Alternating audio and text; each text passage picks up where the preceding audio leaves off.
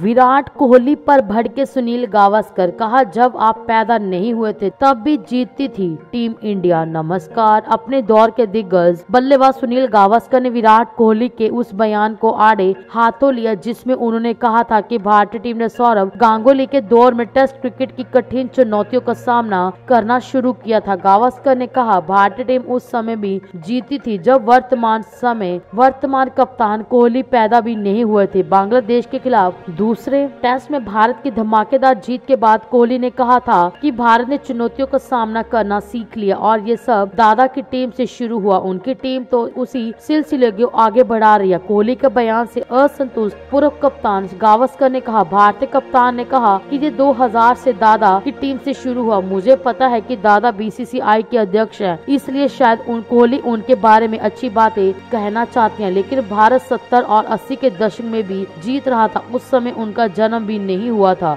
उन्होंने star sports पर match समाप्त होने के बाद एक शो में कहा, बहुत से लोग अभी तक ये मानते कि क्रिकेट 2000 के दशक में शुरू हुआ था, लेकिन कि भारतीय टीम 70 के दशक में विदेश में जीत दर्ज करती थी। भारतीय टीम उन्नीस सौ छियासी में भी जीती थी। भारत ने विदेश में सर्जरी ड्रॉ भी करवाई थी कि वो बाकी टीमों की तरह हारे भी थे। कोहली ने कहा था कि मेरा कहना है कि पहले बल्लेबाजों को चोटें या नुकसान पहुँचाने की कोशिश नहीं होती थी। केवल यही था कि सामने वाले के दिमाग को। पढ़ना उसे उसी तरह से आउट करना लेकिन अब हम सामने डटना और पलट कर जवाब देना सीख गए हैं। ये सब दादा की टीम से शुरू हुआ। इसी से आगे बढ़ रहा है। अभी के तेज गेंदबाज निडर है और उनका मानना है कि वह किसी भी बल्लेबाज का सामना कर सकते हैं। पिछले तीन चार सालों में हमने जो भी कड़ी मेहनत की, सब अब उसका फल मिल रहा है।